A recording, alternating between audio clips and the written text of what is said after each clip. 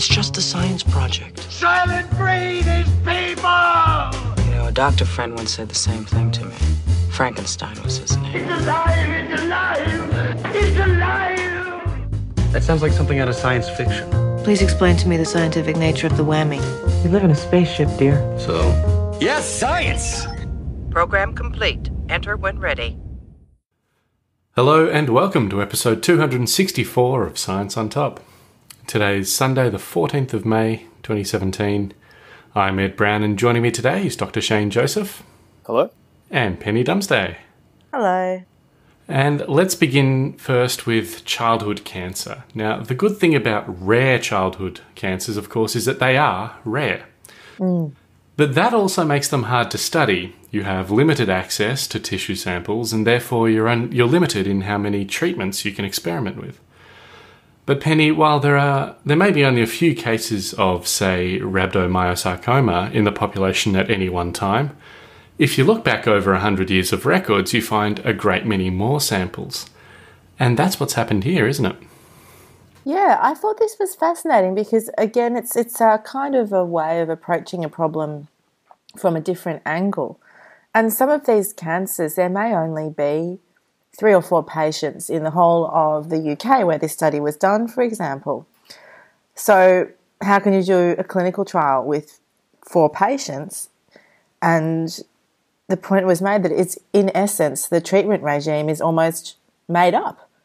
Like you're there is no way of really studying what works and what doesn't, like there is for more common mm. cancers like breast cancer and so on.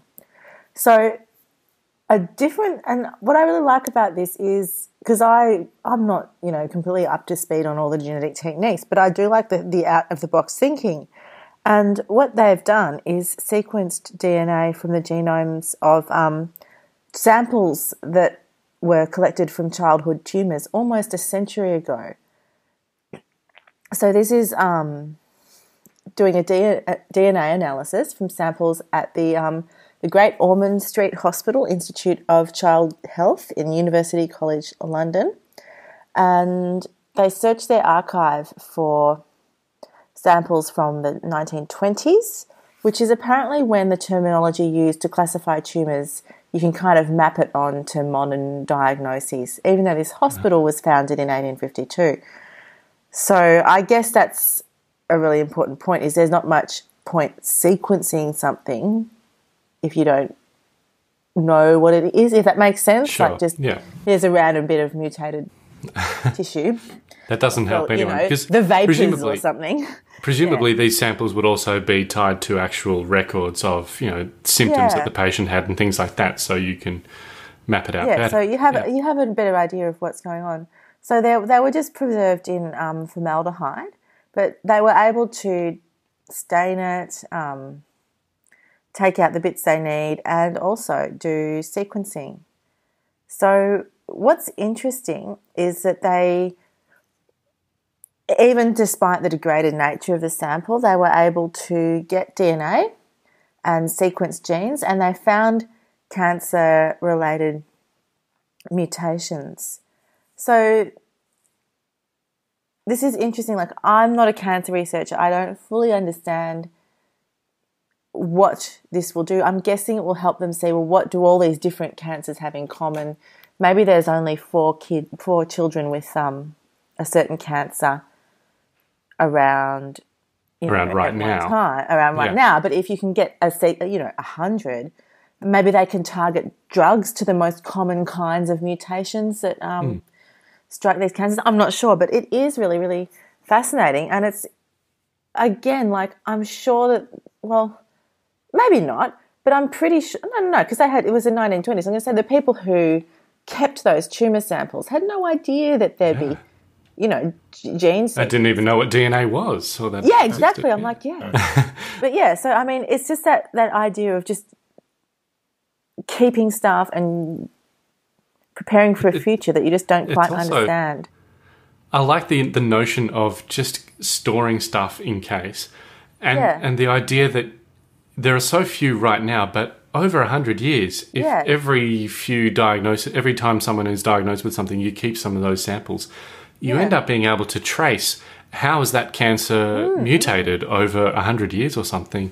Could potentially be a wealth of information. It's a really Yeah. cool story. It is. It's. I thought it was fascinating, and And the other cool thing I like about it was the um, the story. I didn't know about the uh, the Great Ormond Street Hospital, which not long after it opened, nearly closed down because of bankruptcy. And it was only after a donation from Charles Dickens, who of course wrote so many stories about childhood hardships and that sort of a thing. So I thought that was kind of cool that it nearly went bankrupt but was saved at the last minute. Yeah. Well, let's move on. Shane, there's a species of bacteria that seems to use quorum sensing, the ability to detect when other bacteria are nearby, to switch on or off its attacking abilities. And from what I understand of this article in The Atlantic by Ed Yong, that's somehow linked to how it can infect various insects and animals. Is that right? Yeah, um, it's yeah. I, I did a bit of reading up on this. Um, so before the, the story goes that this back in 2010, a um a volunteer firefighter. Why that information is important, I don't know. Um, basically hurt himself while he was gardening, and he his wound became infected. Um, the researcher who discovered the original bacterium Sodalis glossinidius, which is actually a um, it's an interest. It, it's a bacterium that lives inside the guts of tsetse flies, of all things. Um, he, the guy who discovered that, was sent this man's uh, like fluid sample from his infected wound, and Sodalis was actually in it, and he thought that's not possible because this bug only infects insects. What's going on here? Um, but then it turns out that this organism or its DNA has been found in other wounds since, um, and it, so it appears to be a, a like a, an environmental organism. But what he's discovered, what, what, what, what I think researchers have um, figured out, is that the intracellular version, or the one that infects or is inside insects, is a different species to the one that is in the environment and can occasionally infect people. Um, and so they've called it Sodalis praecaptivus, or praecaptivus. So you know, Sodalis before captivity, which I think I quite like. It's kind of a, it's kind of a cool little use of the um. That's Latin, isn't it? The praecaptivus. Yes. I think so. Yeah. Yeah, that's right. I should know this because I did bacterial taxonomy, but I've forgotten a lot. um, anyway, the, what's interesting about this is that um, this organism seems to be able to, as Ed said, use what they think is quorum sensing to shut down its its ability to kill things. Um, and that's kind of important if you want to become a symbiont. You don't want to kill your host. Um, you know, you, you want to live side by side in relative peace. And so what, what it seems to be is that there are certain genes that this organism has that can, so for example, they know that, um, it can infect things like weevils, but it seems to not kill them. However, as soon as you knock out a few genes, you basically knock out that quorum sensing ability and they just grow, unf- and they grow, not only do they probably grow unfettered, but they also don't sort of sense the ability to turn off certain genes that would, would be bad for their host, and therefore the weevils die. And I think that's what happens in these cases of these infectious cases as well. Um, I think the actual infection is fairly benign, and that's probably a good thing because it wants to stay stick around. Well, I mean, it's a good thing for the bacteria anyway because it wants to stick around and sort of stay alive in its host, and it doesn't want to kill the host. So I think that's really kind of cool. And I, we've talked about quorum sensing before, and it's the idea that uh, you know of a bacterial population reaching quorum like you know, so like the old town hall meetings where you get a certain number of people, and there you, you've got a majority or an ability to, to make certain decisions. Similar kind of idea. It every bacterium will, will release a certain level of a signal, and when that signal becomes to a certain concentration in the local environment, another the, this, the population will sense this molecule and its concentration, and then will react accordingly. And there are different outcomes of this reaction. In some cases, it's to, you know, start behaving in a different way, like, you know, turning on certain genes. Um, and in this case, it seems to be that, like, basically, in the case of, in, in the case of in, insect infections, it will not express certain genes that will destroy chitin, for example. Um, yeah, so it's a, it's a bit of a complicated story, but, and it's, doesn't really have any you know application or anything. I just think it's kind of cool, and it's it's one of those. Always good to know more.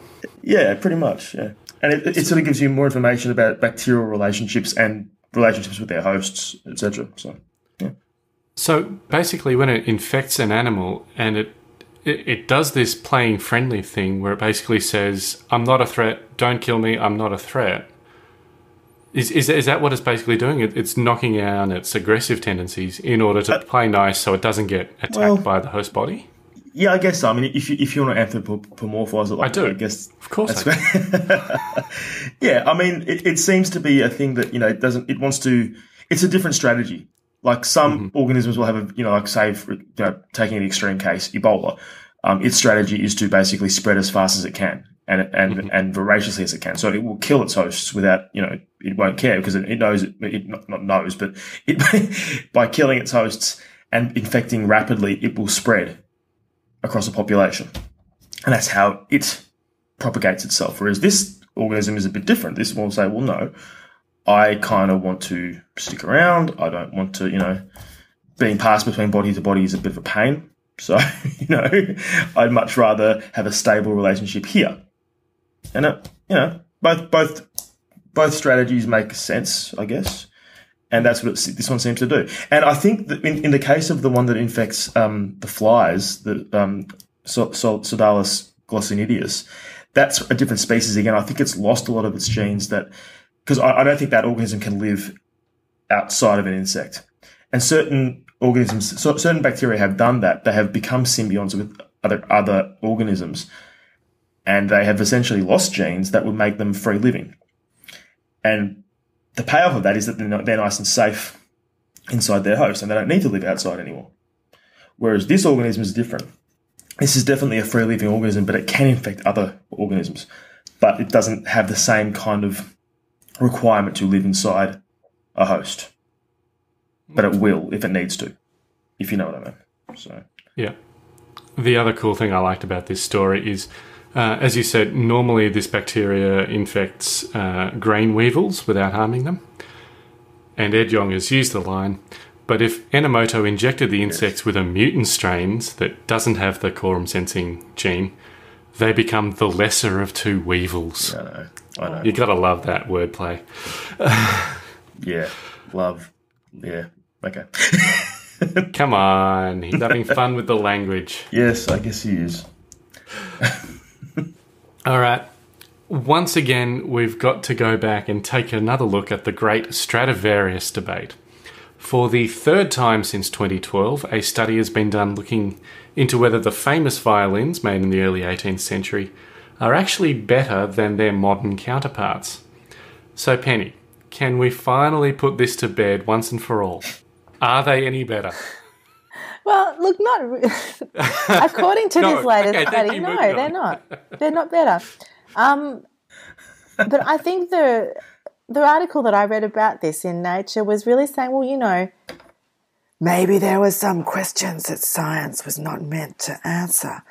Because there's been a lot of things like, oh, okay, you know, you, you get people in a soundproof room and play them a Stradivarius and a new modern violin, and everyone prefers a modern violin, but you know, those aren't the right conditions. And then, you know, you get a blindfolded violinist to play different ones in a concert hall because they were designed for concert hall conditions, and people still prefer the modern violin. But oh, maybe that's because you know, viol- you know, really good violinists get to know their violin, and in the end, I think what I found interesting was perhaps it actually doesn't matter. So, this latest study has found that essentially everyone prefers the sound of a modern violin, um, including a violinist, a violin maker, a composer, a music critic, you know.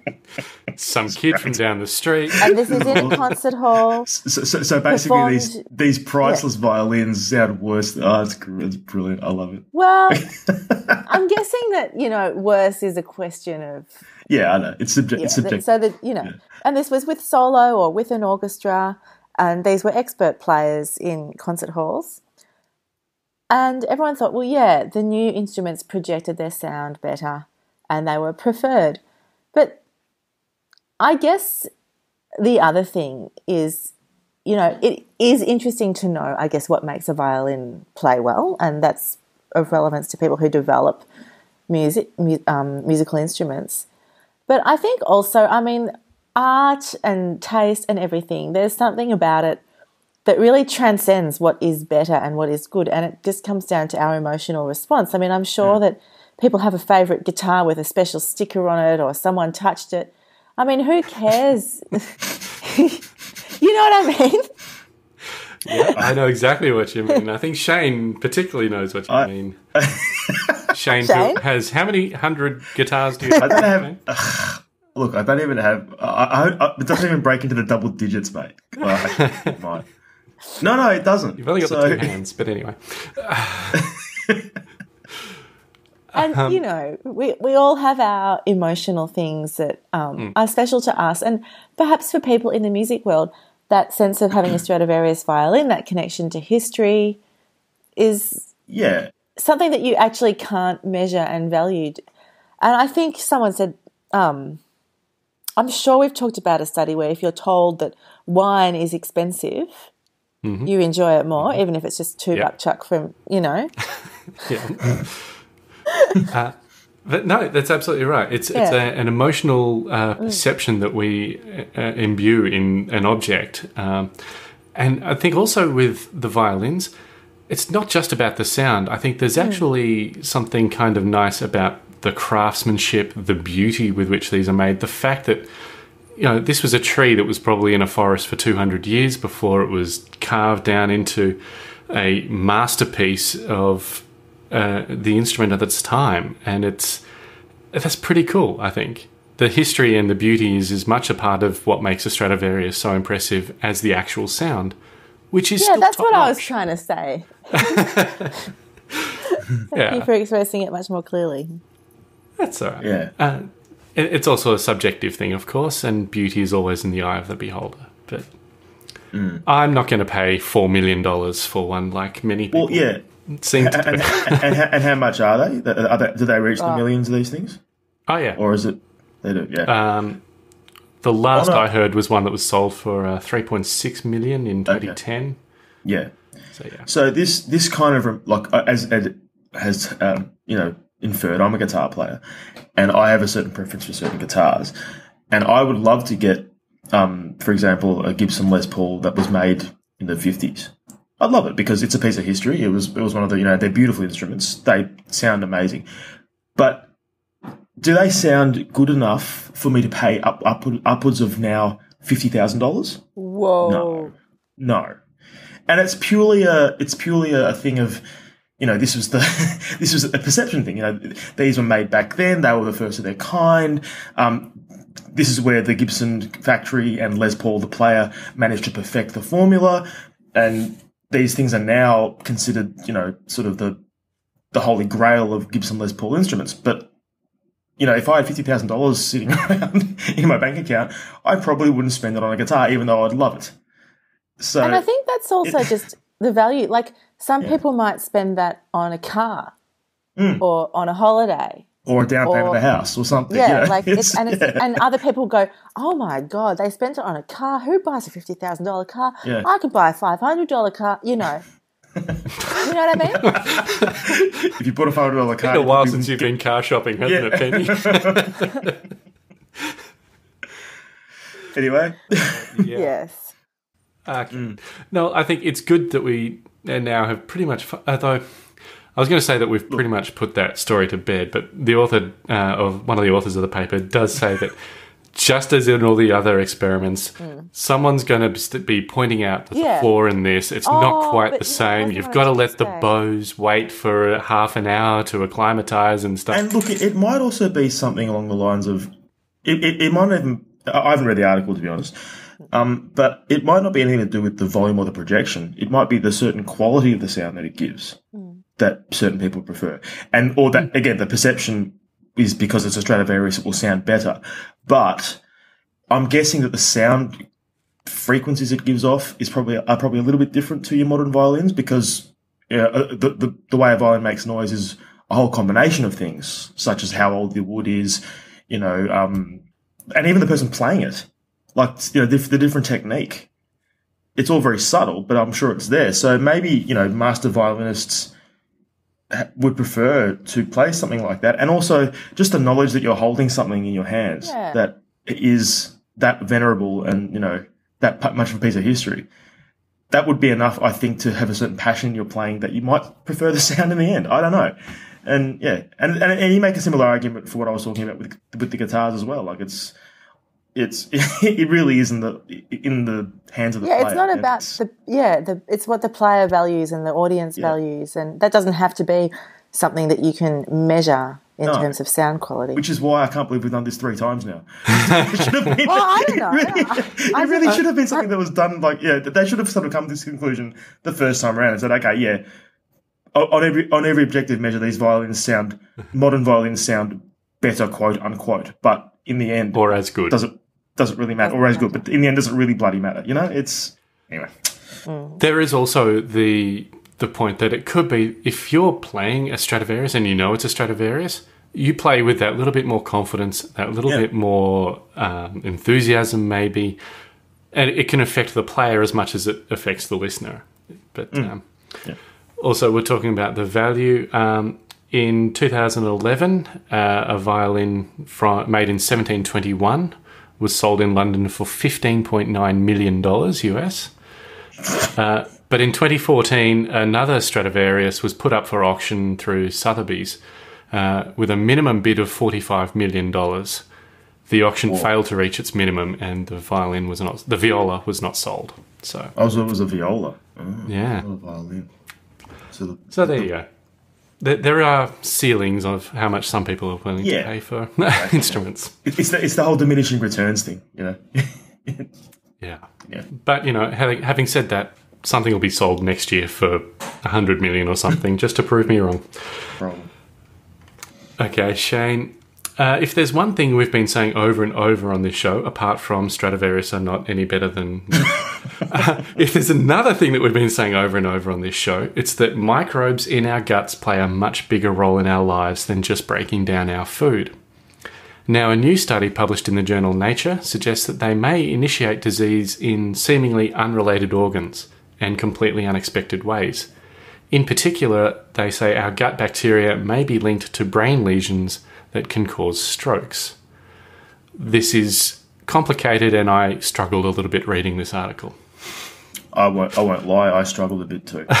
um, it's very interesting. It's fa- fascinating, actually. Um, it does sort of open up a whole lot of different questions, and it's an. And what this story is is also a very nice sort of. It's it's an it's an intersect between microbiology, immunology, um, and neurology. Basically, you know, so the three arms coming together. So it's as Ed said, it's a bit complicated, so I'll try to explain it in a way that I understand it as well. Um, certain people have have uh, lesions in their in their um, their blood the blood vessels in their brain, which can lead to things like bleeding to the brain, strokes, um, and it's fairly it's fairly rare, but it's not it's the, the outcomes can be quite disastrous. Um, there aren't really a lot of options for people who have this apart from, you know, surgery and apparently palliative care. And it can affect young people too. Like it, it affects all ages. So it's not a nice thing. Um, they've, researchers have identified certain genes that will affect this. Um, basically, certain mutations in these genes that will essentially cause the, uh, from what I understand, is the blood-brain barrier to for cells in that barrier to grow abnormally and therefore lead to these lesions, which then lead to the strokes. Unfortunately, um, there's no real way to there's no there are no real drugs that are targeting those mutations in those genes. So the prognosis for people who have this is not great. Now, where this study comes in is that they, were looking at mice and they were trying to mimic this effect in mice. You know, they, they'd grown up genetically engineered mice that have these lesions. What they noticed was that um, they had a few resistant pups, I think, or mice that they had these lesions in their brains, but they didn't develop the. Well, sorry, sorry. I start again. They, they they had the mutations in the genes, but they didn't have the lesions. So it didn't lead. To, Okay. So yeah, so it wasn't necessarily a, you have the mutation, you will develop the lesion. At least in these mice, anyway. What they also noticed was that in these populations, if there was a bacterial infection, then these mice would sometimes develop lesions. So there's a little bit of a link here. Um, what they discovered a, a was- bacterial infection of any bacteria, or um, or in their abdomens, apparently. So, so if these mice had abscesses in the abdomens, which were actually caused by the injections that they received during the treatment, then they would sometimes develop these lesions. which is, you know, you don't you don't think there's, there should be a link here, but apparently there was one. Um, now where the gut thing comes in is a little bit of a.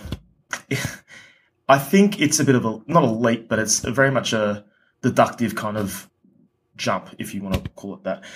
They figured out that a certain kind of molecule that is found on the cell walls of certain kinds of bacteria and gut bacteria. This ma- this molecule is called lipopolysaccharide. Um, it's a toxin. It, it can in normal in normal um, immune reactions it will trigger certain things like say so bacterial infections that if they occur in the body, one of the first things that happens is lipopolysaccharide will trigger the innate immune system to, to react. So they'll detect this. All your all your first line immune systems, immune cells will detect this and go, "Ooh, this is a this is a warning. This is a trigger," and they will start their arm of the attack. So it it's a very useful signal. What seems to be happening here is that the lipopolysaccharide is, from what I understand, it's activating another cell um, signal on our cells called toll-like receptor 4, TLR4. And what that seems to do, as soon as this receptor on our cells is activated, then you get this abnormal growth of the cells in the blood-brain barrier, and then you get the lesions. Huh. Yeah. even if even if the bacteria and the lipo, what's it, the lipopolysaccharide is detected in the gut. Well, yeah. Yeah, well, that, that seems to be the idea here. I mean, as I said, they, I, when, I, when I say this is a deductive leap, they didn't. I don't think. I don't think they've made a direct link between the gut bacteria and this. That what they've said is, in the presence of lipopolysaccharide, toll-like receptor four is activated, and therefore lesions occur. Right. Okay. So, from that we reason, don't know the physiology or how it No, happens. they have no They've just idea. seen that No. it seems to happen. it seems to happen and and so the idea here is that well if you've got if you and, and as i said this this is i think the, poly, the, the the lps lipopolysaccharide they used came from a species of bacterium called bacteroides fragilis which is quite a common um, gut organism it actually makes up one of the i think it's one of the major gut organisms in a lot of different in a lot of different individuals so there seems to be a link there. You know, the, the, the leap there is well, if you've got if you harbour a large population of bacteroides in your guts, and you have these these genetic genetic mutations that will lead to brain lesions, this could affect you. This could actually cause these lesions. So I think they did some yeah they did they did some eh, more work on this, and I think they knocked out the well you know they basically knocked out the microbiomes of these mice, and they found that there was a massive drop in the lesions. Okay. So it does seem to be Hmm, a ninety-six percent drop. yeah. Now this is again in a, a mice study, a mouse study. So again, and and the, and the researchers go to great pains to sort of emphasize this. This is not necessarily what's happening in humans, though it seems likely. Um, but it's a very interesting link, and it's something that they should look up. Now, as yeah, uh, well, I mean, so there are two arms of this. There's the micro, the microbiology aspect of it, where the gut bacteria could be causing this, and there's also the effect of your own, your own receptors, toll-like receptor four, which is also causing this. So there are two possible ways you can go with this. You could say, well, you know, could we maybe deactivate toll-like receptor four? Um, and that seems to be a bit harder because you know that's much more of an innate thing. Um, so I think they're they're getting very excited about the whole idea of can we manipulate the microbiota if that is in, is indeed what's causing this to then stop these lesions. Right. So- So, or, so can we wipe out all the Bacteroides fragilis? Yeah, or yeah, and and, and, And, so and the but what f- flow-on effects will that necessarily have? Do we also need the Bacteroides fragilis Well, for our normal see- gut function? yeah, interestingly enough, I don't, not, I'm not sure because I think it would depend on the individual. Um, and different individuals' gut bacteria differs wildly. Like certain people won't have any or very few Bacteroides fragilis in their in their system. That being said, Yep. there are also other bacteria in the gut that have lipopolysaccharide in in their cell walls. So Right. you know what do you what do you target? I think another article I read suggested fecal transplant from an early age. So you know, as an infant, and therefore you basically wipe out your resident gut bacteria and you introduce new ones that are more benign if they detect these genetic mutations. Mm-hmm. So that's one idea. Um, yeah, it's it's all very early days, and it's all you know. Yeah, but it's interesting. It, at least it shows us where some of the paths may be that we need to investigate further down. And it also shows to me just how horrendously complicated this entire system Exactly. is and how interconnected it is. And it's not a simple matter of, you know, the targeting one one little, you know, one one um target for want of a better word. you know. Yeah. Yeah. Uh, It's always a bit more complicated than you think. Yeah. that's why and, and, and that's why I think it took me and Ed a little while to get our heads around this and I'm I don't think I have yet, but I'm so- closer than I was before. I hope I explained it all right. I'm not sure if I did. Look, if you're still struggling, maybe uh, check the links in the show notes and see if you can do any better. But uh, I think that's it for now. Uh, as always, more information about everything we talked about uh, is on the web at scienceontop.com slash 264. There you can also leave a comment or find our social media info. And if you like the show and you want to help keep us going, check out scienceontop.com slash donate to pledge some money on Patreon. We are super grateful to Ryan James, who just signed up to our space shuttle level, which means he'll get an extra mini episode each month featuring another story that doesn't go on the regular show. So we'll be recording that for you very soon, Ryan, and I really hope you enjoy it, and thank you once again. And thank you for joining me today, Shane and Penny. No worries. No worries, Ed. This episode was edited with copious amounts of tears and wine by Marcos Benavu. Thank you, everyone, for listening. We'll be back again next week, putting science on top of the agenda. Join us then.